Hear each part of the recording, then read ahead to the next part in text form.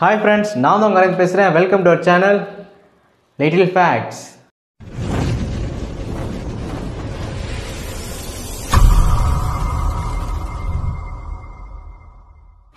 அம்மா உணவகம் தாக்கப்பட்டது.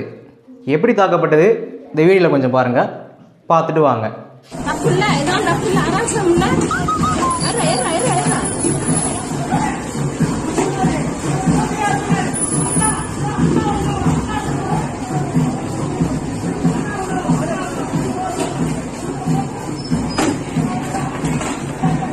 இப்போ நம்ம தமிழ்நாட்டில் எலெக்ஷன் நடந்தது.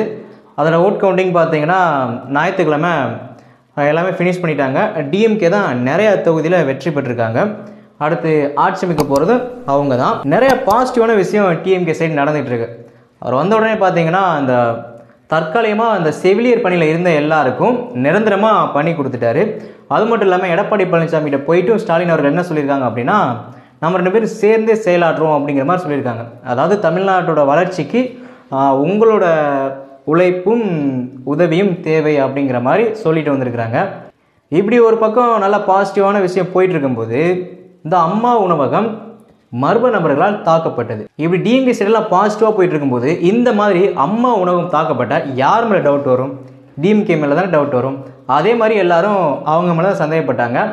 அவங்க சந்தேகப்பட்டது ரொம்ப உண்மை தான் டிஎம்கே கட்சியில் இருக்கக்கூடிய ரெண்டு உறுப்பினர்கள் தான் இந்த மாதிரி செஞ்சுருக்கிறாங்க. ஆனால் செஞ்சாங்களே சுற்றி முற்றி பார்க்க மாட்டாங்க போல். அதை யாரோ ஒருத்தவங்க ஆப்போசிட்லேருந்து வீடியோ எடுத்து நெட்டில் விட்டாங்க. ஆனால் அந்த வீடியோ எடுத்தவங்களுக்கே தெரிஞ்சிருக்காது இந்த வீடியோ இவ்வளோ வைரல் ஆகாதுன்னு. அதாவது இவ்வளோ வைரல் ஆகும் அப்படின்னு. பார்த்தீங்கன்னா வேறு லெவல் வைரல் ஆகி இந்த வீடியோ கவர்மெண்ட் கண்ணிக்கே தெரிஞ்சு அவங்க ரெண்டு பேர் மேலேயும் நடவடிக்கை எடுக்கிற அளவுக்கு இந்த வீடியோ வைரல் ஆகிடுச்சு திமுக சார்பாக என்ன பண்ணியிருக்காங்க அப்படின்னா அந்த ரெண்டு பேரையும் அவங்களோட உறுப்பினர் பதவியிலேருந்து நீக்கிட்டாங்க. அது மட்டும் இல்லை அவங்க மேலே தக்க நடவடிக்கை எடுக்கப்படும் அப்படின்னு சொல்லியிருக்காங்க. ஃபஸ்ட் நான் மர்ம நபர்கள் அப்படின்னு சொன்னேன்.